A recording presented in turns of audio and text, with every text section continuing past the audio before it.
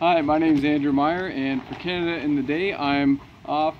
for a walk with my dog Bruno here, and we're standing in the shadow, or kneeling in the shadow, of Canada's greatest military general, Sir Arthur William Currie, who was born right here in Strathroy, Ontario, um, and this is also what I love about Canada. I love about Canada the fact that it's a peaceful nation, and that is on the backs of courageous people like Sir Arthur Currie and many of those who fought and served for our country. So Canada in a day, this is my Canada, a peaceful Canada with a proud history.